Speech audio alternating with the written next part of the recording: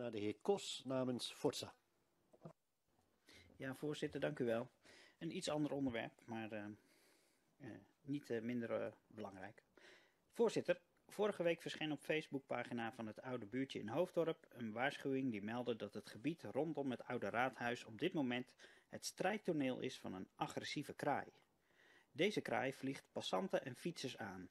Wie daar dus op een verkeerd moment loopt, is dus een pechvogel.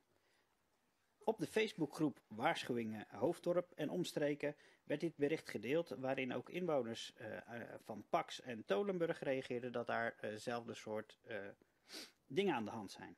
Volgens NH Nieuws gaat het om vogels die hun nesten, zo eieren en jongen proberen te beschermen. Dus kunnen we er een beetje van uitgaan dat dit mogelijk jaarlijks terugkomt. Gelukkig hebben we al gezien dat er wel al uh, gewaarschuwd wordt met uh, bordjes. Maar ons vraag aan het college is uh, de volgende. Kunnen we verder nog iets doen? In de zin van, kunnen we bijvoorbeeld kijken of we iets voor het broedseizoen kunnen doen? Of is er ergens iemand, een vogelexpert of zo, die ons kan vertellen hoe we hiermee om kunnen gaan? Dat we niet alleen mensen waarschuwen, maar dat ze ook gewoon veilig in de ronde kunnen lopen. Tot zover. Dank u wel. Voor de beantwoording namens het college ga ik naar mevrouw Van der Meij. Ja, dank u wel, voorzitter. Uh, nou ja, u heeft een deel van de vraag al beantwoord. Um, uh, het klopt dat het gaat om uh, kraaien die hun niet vliegvlugge jongen, zoals dat heet, beschermen.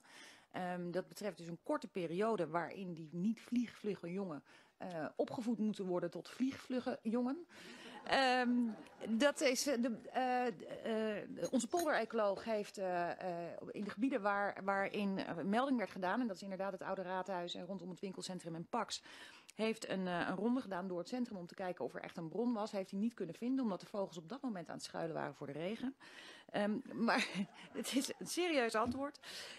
Um, het, die vliegvlugge of die niet vliegvlugge jongen, dat is dus een, echt een korte periode. Dus eind juni uh, zou de overlast over, over moeten zijn. En als u mij nu vraagt inderdaad, wat kunnen we op dit moment nog meer doen, dan is dat niet zoveel. Het is ontzettend uh, jammer voor de pechvogels, zoals u ze noemt. En uh, nou ja, die wens ik ook beterschap als dat inderdaad iets oplevert. Maar dit is het antwoord. Dank u wel. Nog een aanvullende vraag van de heer Kos? Ja, bedankt voor de beantwoording. En nog een korte vraag. Had u dit als eerste vraag verwacht in uw wethouderschap? Nou, in ieder geval, als die van een partij kwam, dan inderdaad van Forza. Dank u wel. Dank u wel. Voor de volgende vraag ga ik naar mevrouw.